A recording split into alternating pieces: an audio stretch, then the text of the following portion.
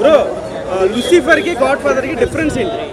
Difference అంటే first of all లుసిఫర్తో compare చేసుకుంటే ఆ చేంజెస్ అనేది ఖచ్చితంగా ఉంటుందన్నమాట. ఇప్పుడు సెకండ్ హాఫ్లో ఖచ్చితంగా చేంజెస్ అయితే ఉంది లూసిఫర్తో కంపేర్ చేస్తే. అండ్ లుసిఫర్లో ఒక ఇంపార్టెంట్ క్యారెక్టర్ మూవీలో ఉండదు. అంటే ఇది తెలుగు వాళ్ళకి నచ్చే విధంగా కొంచెం మార్చినారు. పైగా but but still actually seventy five eighty percent same Lucifer లాగే ఉంటుంది మనకు వచ్చేసి. అండ్ uh, బాగుంది బ్రో అంటే నాకైతే చూసేంత వరకు నాకు ఏంటంటే అంటే ఇది రెగ్యులర్ కమర్షియల్ మూవీలు చూసి చూసి మనకు ఒక విధంగా అనిపిస్తుంది. కానీ ఇది వచ్చేసి స్టోరీ డ్రైవ్ చేస్తూ ఉంటుంది అనమాట నాకైతే బాగా నచ్చింది నాకైతే. ఆచార్యకైతే కొంచెం కష్టమైంది. థియేటర్లో కూర్చోవడమే కొంచెం కష్టమైంది. కానీ ఈ మూవీ మంచి కంపాక్ అనే నేను చెప్తాను నేను. ఫస్ట్ హాఫ్ అయితే నిజంగా చాలా బాగుంటుంది. ఎక్సలెంట్ ఉంది. ఎవరు తప్పులు పట్టలేరు. సెకండ్ హాఫ్ మేబీ కొంతమంది తప్పులు పట్టొచ్చు. అది ఎవరైతే ఒరిజినల్తో కంపేర్ చేస్తారో మేబీ సెకండ్ హాఫ్ దాని తప్పులు పట్టొచ్చు కానీ బట్ మూవీ నాకైతే ఫ్రెష్గా చూస్తే మాత్రం నాకు బాగా నచ్చింది మూవీ అయితే. అంతే అనుకోండి. అంటే చిరంజీవి గారి మీద మంచి కాన్సన్ట్రేషన్ ఉందన్నమాట మూవీలో వచ్చేసి. పైగా మలయాళం లెంత్ కొంచెం ఎక్కువ కదా మూవీ వచ్చేసి. సో ఈ మూవీ లెంత్ కూడా తగ్గించినారు.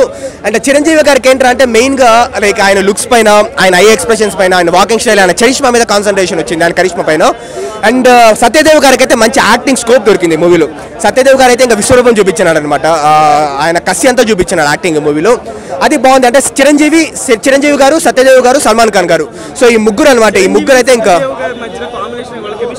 చాలా బాగుంటుంది. యాక్చువల్లీ ఫస్ట్ హాఫ్లో ఒక సీన్ వస్తుంది అనమాట సో వాళ్ళిద్దరి మధ్య కన్వర్జేషన్గా చిరంజీవి గారు వస్తారనమాట ఆయన ఆయన రూమ్కి వచ్చినప్పుడు ఆ షాట్ అయితే మనకు నిజంగా చాలా బాగుంటుంది.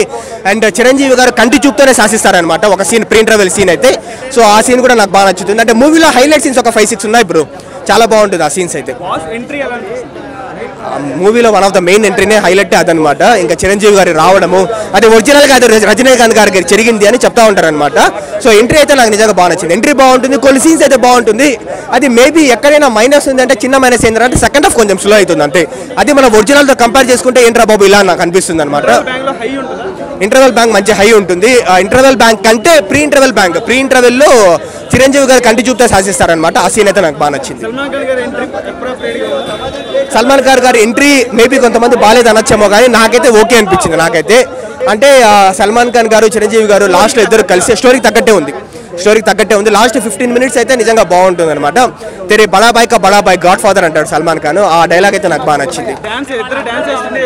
ఇద్దరు ఇద్దరు డాన్స్ కావచ్చు ఇద్దరు కలిసి ఫైట్ చేసిన సీన్ కావచ్చు సల్మాన్ ఖాన్ గారు చిరంజీవి గారిని ప్రొడక్ట్ చేస్తూ ఉంటాడు అనమాట ఆ షాట్ కావచ్చు ఆ సాంగ్ కావచ్చు నాకైతే బాగానే ఉంది అనిపించింది వాళ్ళిద్దరిది యాక్చువల్లీ బాగానే ఉంది. ఎస్పెషల్లీ చెప్పాలంటే వాళ్ళిద్దరు కలిసి చేసే ఫైట్ చిరంజీవి గారు వెనకాల వస్తూ ఉంటారు. రెబల్ మూవీలో ఇప్పుడు ప్రభాస్ లాగా వెనకాల వస్తూ ఉంటే ముందర నుంచి సల్మాన్ ఖాన్ గారు ఆయన స్టైల్ ఆయన చంపుకుంటూ వెళ్తూ ఉంటాడు అనమాట ఆ షాట్ అయితే నాకు బాగా నచ్చింది. మోహన్ రాజా గారి చాలా మంచి డైరెక్టర్ అఫ్ కోర్స్ ఆయన రీమేక్లు చాలా చేస్తారు కానీ తని వరువంతా ఆయన చూపించుకున్నాడు కదా. సో ఒరిజినల్ కంటెంట్ తీసి సో అదే విధంగా ఈ మూవీలో కూడా అంటే ఆయన మంచి క్యాపబిలిటీస్ ఉన్న డైరెక్టర్ ఆయన డైరెక్షన్ కూడా మనకు మూవీలో బాగానే ఉంటుంది movie of out of five నేను రేటింగ్ నేను ఇవ్వలేను కానీ బట్ చెప్తున్నాను but more than happy. Thank you